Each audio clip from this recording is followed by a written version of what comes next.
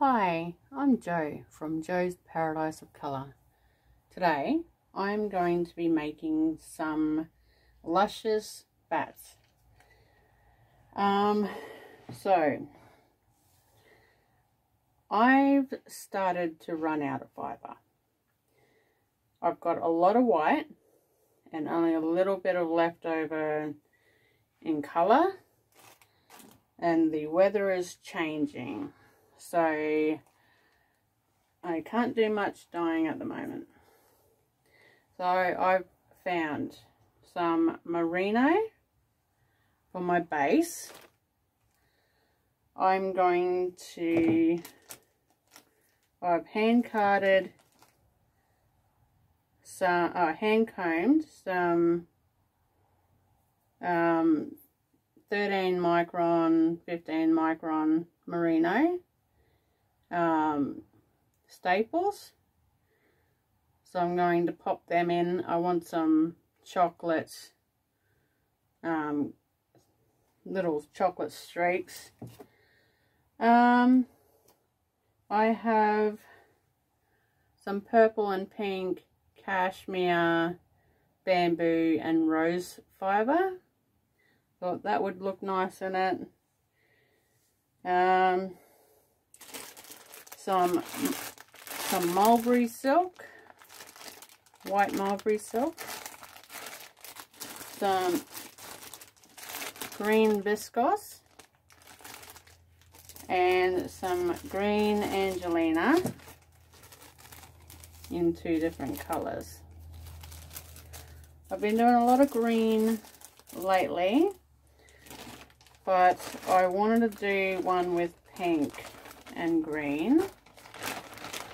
This is my leftovers from other spins um, that I've just collected into a bag and I'm going to be adding that to it for some color pop.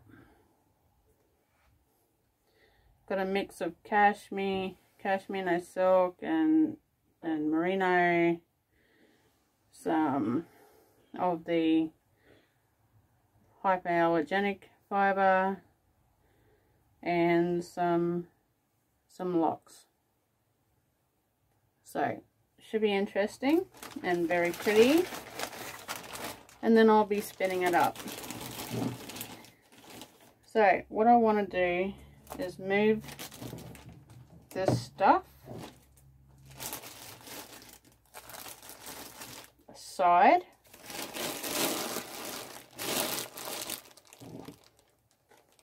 Over here. So it's the other road. I am going to be adding some merino first.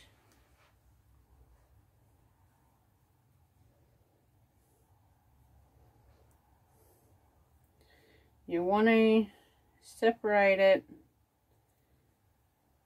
evenly before you put it on.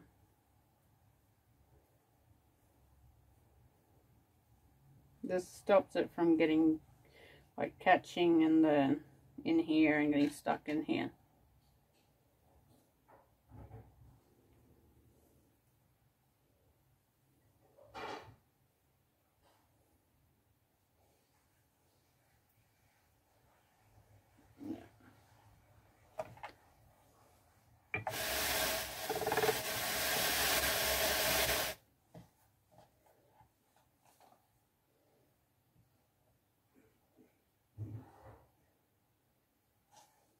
I just found a little bit of grass.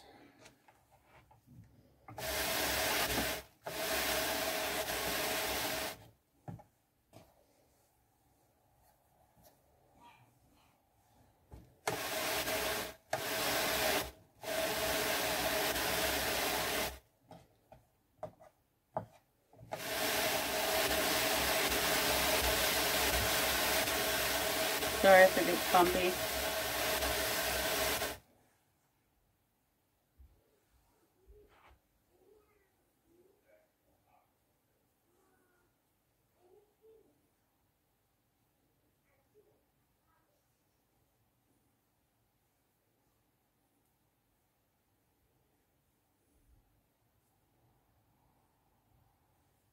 I am starting to get, I'm, I'm already there, but I am so bored of white.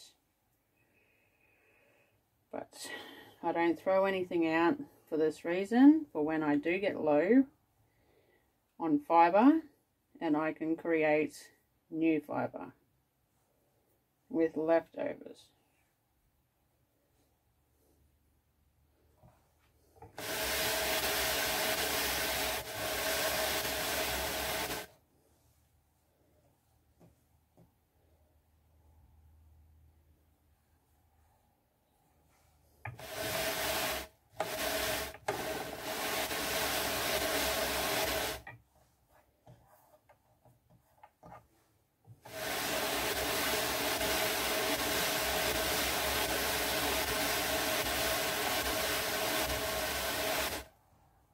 Okay, I am going to add some of this.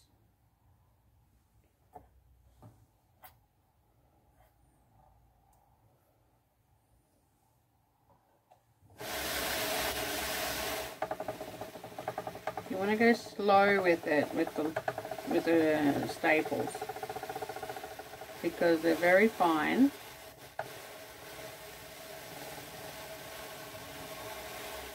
they can get caught.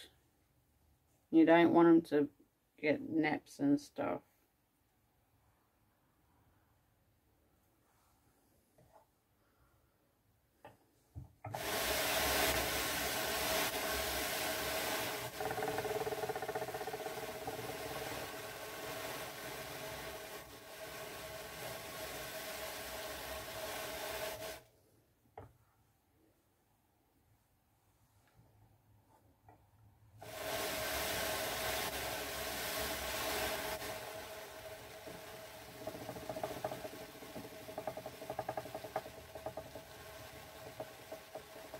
They'll eventually give way and go on easier. I don't want to force it and get lumps.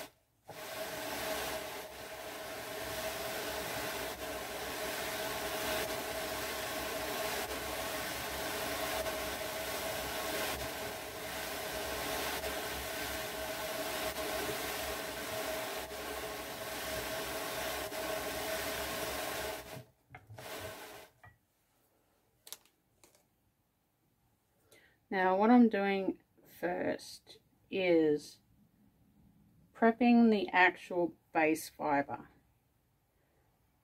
So I want to have it the chocolate and cream throughout.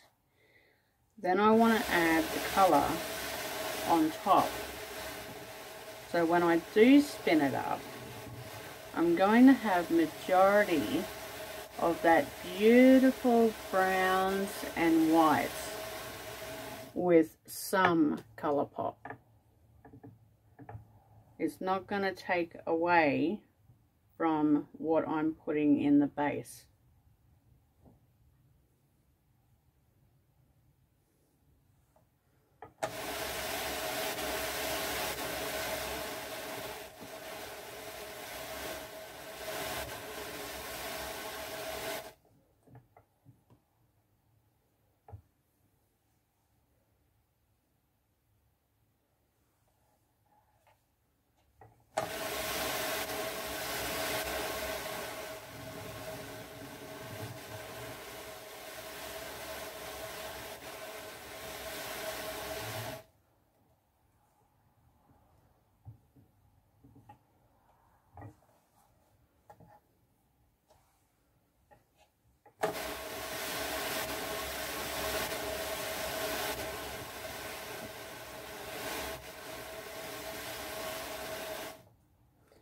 I only prepped a little bit of this because I only need a little bit and I don't like using too much of the good stuff all in one go.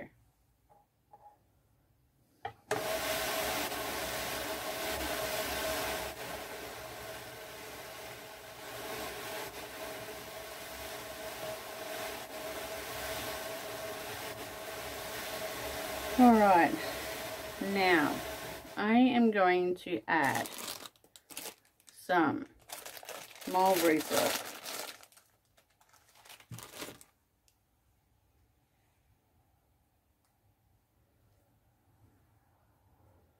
Normally I go from the top with really slippery stuff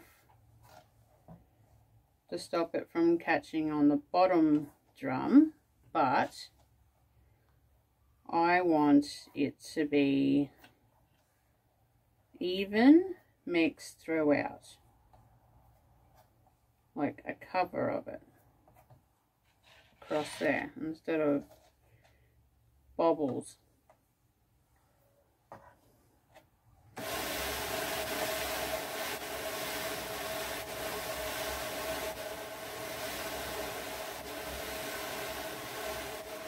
A lot of it's going to go on the front but then it'll pull back to the to the back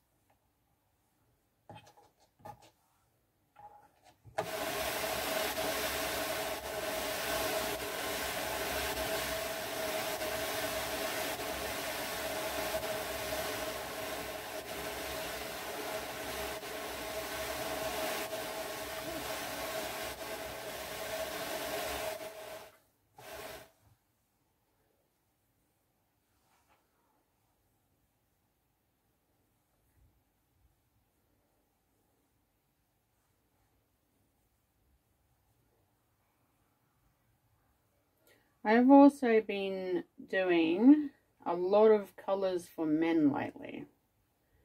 And um, unisex ones.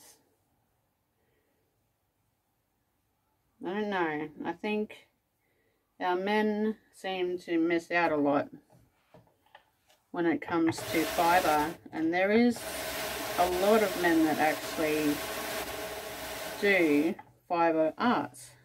So and then you've got the women that buy it. And maybe they want something for their husbands or their sons. Or their daughter that likes the colour. So I'm mixing it up a bit at the moment. Trying to make sure I've got colours for everyone.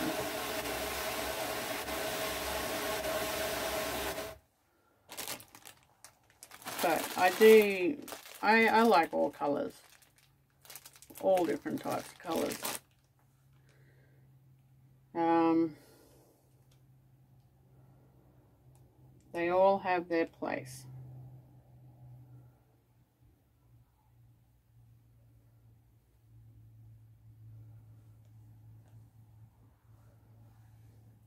And you know, I really love the bright colours too, but I don't make stuff with it.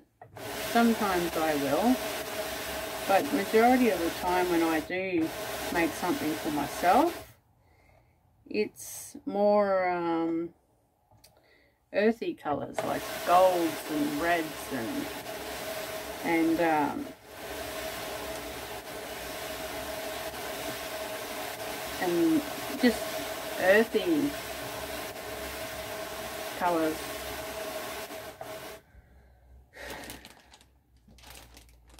So I just need to remember to keep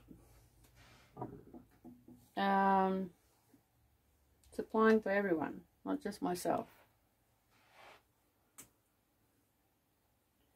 I've also noticed that a lot of people, when they do make something, tend to go for solid colours and neutral tones, not super bright stuff. Unless they're going for a gradient or something for a little girl or a teenager or sometimes for themselves. But majority of the time, people will go for something that will go with everything. And I like to sort of steer away from black on its own, even though a lot of people love to go black. Um, I think, you know, I, I wear a lot of black. So it's just funny. I'll wear black, but I love colour. So, would I wear it? Um, if it's in a nice neck piece, yes. If it is a nice scarf, then yes. Certain places I will put colour on my body. But majority of my uh, wears are black. Black, white or red. Um,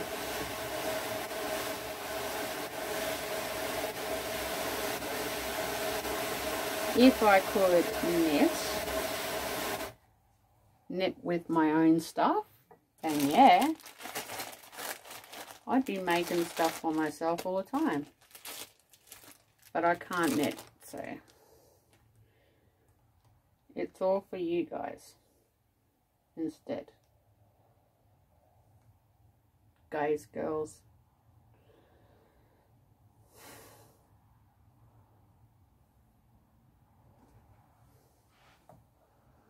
I'm going to add lots of silk. Lots of it. Because it looks so pretty when it's spun up. When it pops out.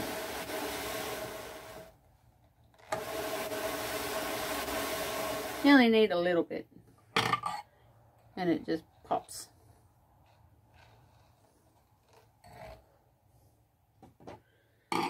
Alright, I'm down to my last bit. I'm going to add some Angora Bunny.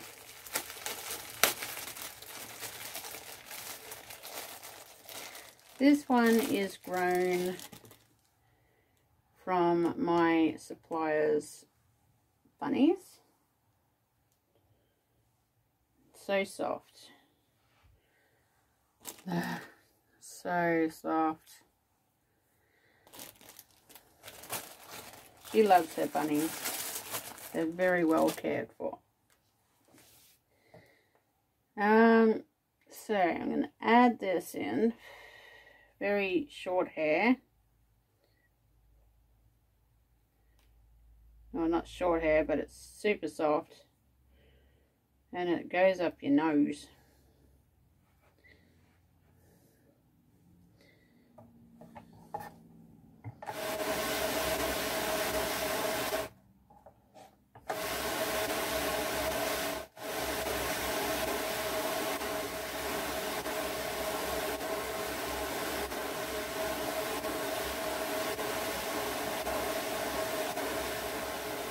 Yeah.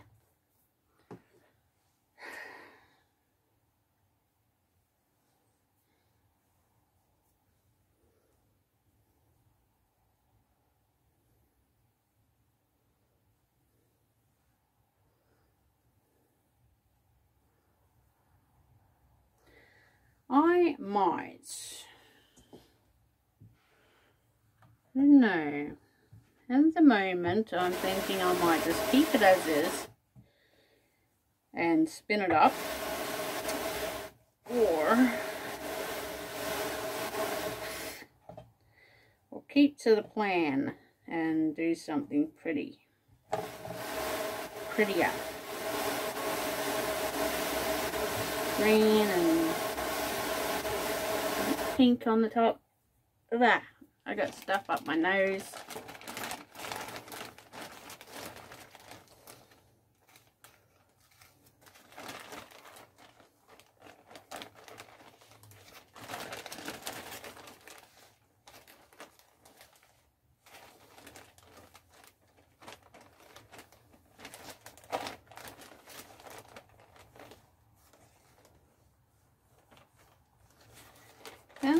With the leftovers seems to get, they're very knotty. And I don't really want a knotty art yarn, art, art batt, sorry. I want a luxury batt. So I'm going to keep with the super luxury stuff. Like the cashmere bamboo silk, uh, not silk, uh, rose fiber. And then I'm going to add a little bit of viscose, some silk on top.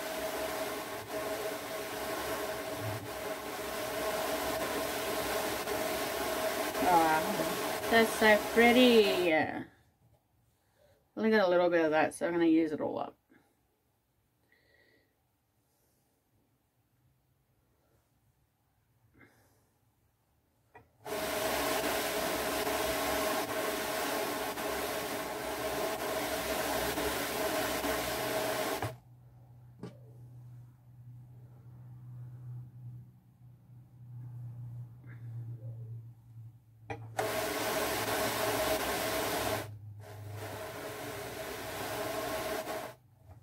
That one had a mind of its own.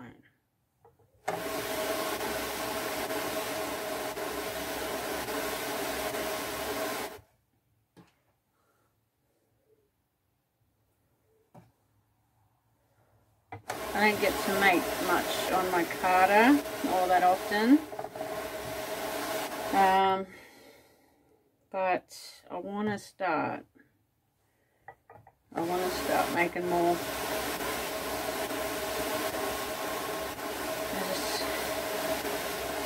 I'm very picky on what I do with my fibre and what it's used in and how it's used and how much is used, etc.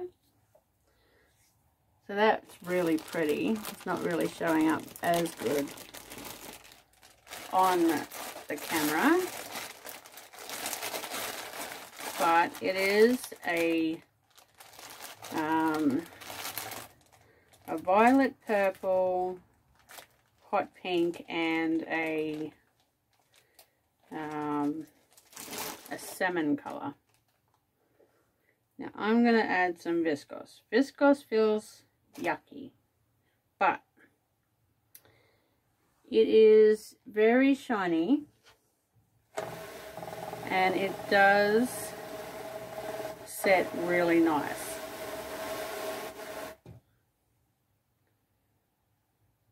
Once you've washed it and it's all made up. It is quite pretty.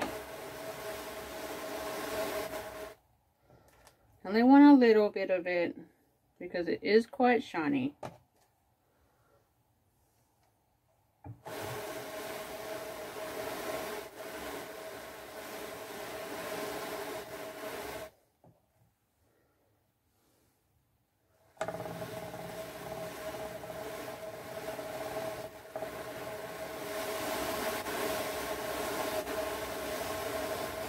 And I don't think you really need a lot.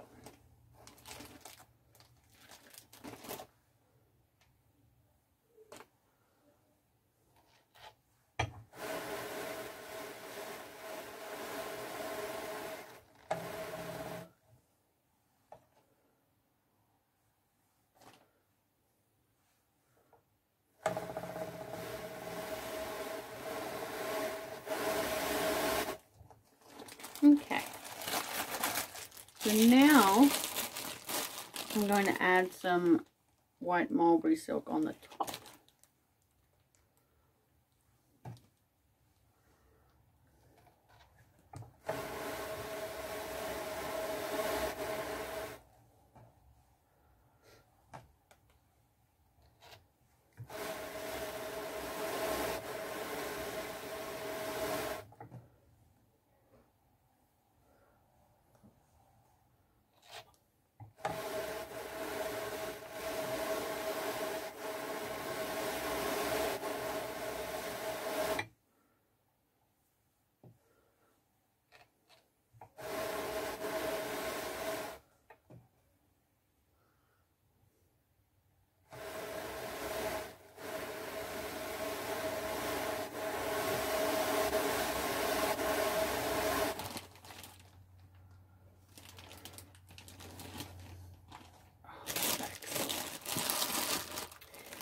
Now to finish it, I'm going to add some sparkle.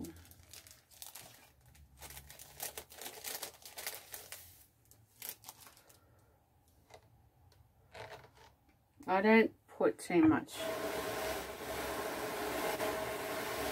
I don't think it needs it.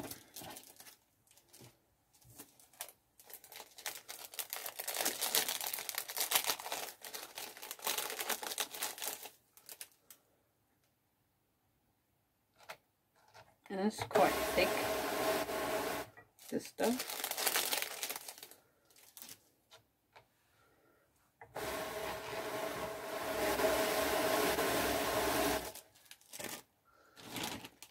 And that's it. This one is complete.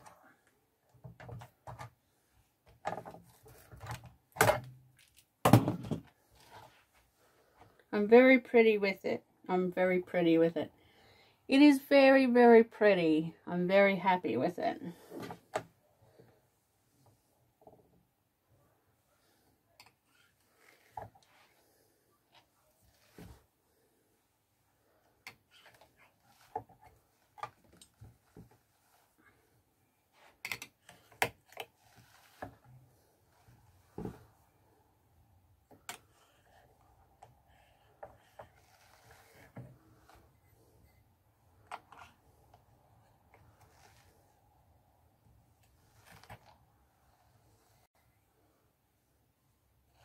It's very thick.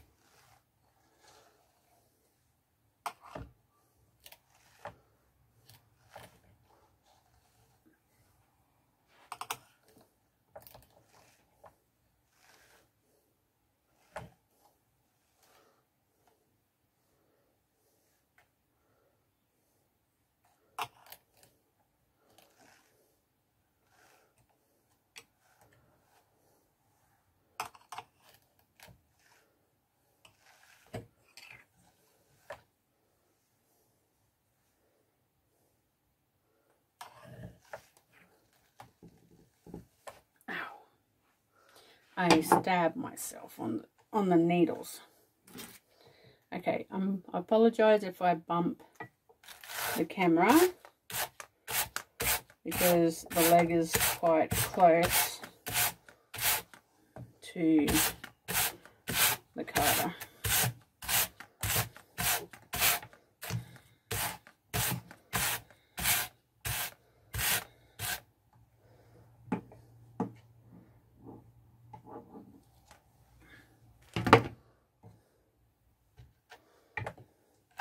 Give me all that pretty. Oh, All of that pretty. Trying not to break it now.